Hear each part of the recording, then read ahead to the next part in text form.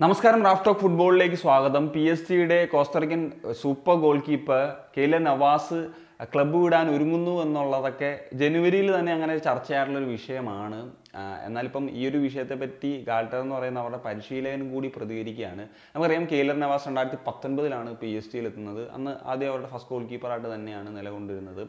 അതിനുശേഷം ഡൊണൂരുമ വന്നു. എങ്കിലും ഒരു റൊട്ടേഷൻ പോളിസിയിലൊക്കെയാണ് ഇപ്പോൾ പൊച്ചറ്റീനോയുടെ അണ്ടറിലൊക്കെ ആണെങ്കിലും ആ ഒരു സമയത്ത് ഒക്കെ ഉണ്ടായിരുന്നത്. പക്ഷേ ഗാൾട്ടർ എന്ന് പറയുന്ന ഒരു പുതിയ പരിശീലനം വന്നപ്പം ഈ സീസണിന്റെ ഒരു കാര്യം നമുക്കൊന്ന് പരിശോധിച്ച് നോക്കിയാൽ ഡൊണോർമ തന്നെയാണ് ഫസ്റ്റ് ഗോൾ കീപ്പറായിട്ട് കൂടുതൽ ലീഗ് മത്സരങ്ങൾ കളിക്കുന്നത്. അപ്പം ഫ്രഞ്ച് കപ്പ് മത്സരങ്ങളിലേക്കൊക്കെ വരുമ്പോഴാണ് നവാസിന് അവസരങ്ങളുണ്ടായിരുന്നത്. അപ്പം ഈ ഒരു കാര്യത്തിൽ അത്ര തൃപ്തനല്ലായിരുന്നു നവാസ് എന്നുള്ളതാണ് നമുക്കറിയാമല്ലോ അദ്ദേഹത്തിന്റെ ഒരു പ്രൊഫൈൽ എങ്ങനെയായിരുന്നു എന്നുള്ള കാര്യം. അപ്പം അദ്ദേഹം ആ കാര്യത്തിൽ തൃപ്തനല്ലായിരുന്നു. ക്ലബ്ബ് വിടാൻ ഒരുങ്ങുന്നു എന്നുള്ള അല്ലെങ്കിൽ ക്ലബ്ബ് വിടാൻ അദ്ദേഹം ആഗ്രഹിക്കുന്നു എന്നുള്ള കാര്യങ്ങളൊക്കെയാണ്. ഇപ്പം പ്രീമിയർ ലീഗ് ക്ലബ്ബായിട്ടുള്ള നോട്ടിംഗ്ഹാം ഫോറസ്റ്റ് അദ്ദേഹത്തെ സമീപിച്ചു. ഇപ്പം ഒരു ടേംസിലൊക്കെ അദ്ദേഹം എത്തി എന്നുള്ള തരത്തിലുള്ള വാർത്തകളുമൊക്കെ പുറത്തേക്ക് വരുന്നൊരു സാഹചര്യമാണുള്ളത്. ഏതായാലും ഒരു പത്രസമ്മേളനത്തിൽ ഗാൽട്ടർ എന്ന് പറയുന്നൊരു പി എസ് ടിയുടെ പരിശീലകൻ തന്നെ ഈ ഒരു കാര്യത്തെപ്പറ്റി സംസാരിക്കുന്നത് നമുക്ക് നോക്കാം. ട്രാൻസ്ഫർ വിൻഡോ നാല് ദിവസത്തിനുള്ളിൽ അവസാനിക്കും.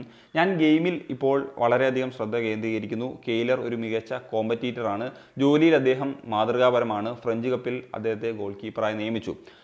ട്രാൻസ്ഫർ വിൻഡോ കഴിഞ്ഞാൽ യാഥാർത്ഥ്യം കാണാം. എന്നാൽ ആ മനുഷ്യനെയും അവന്റെ കരിയറിനെയും നാം ബഹുമാനിക്കണം. അദ്ദേഹം പറയുന്നത് കേൾക്കണം എന്നുള്ള കാര്യമാണ് ഗാൽറ്റർ പറയുന്നത്.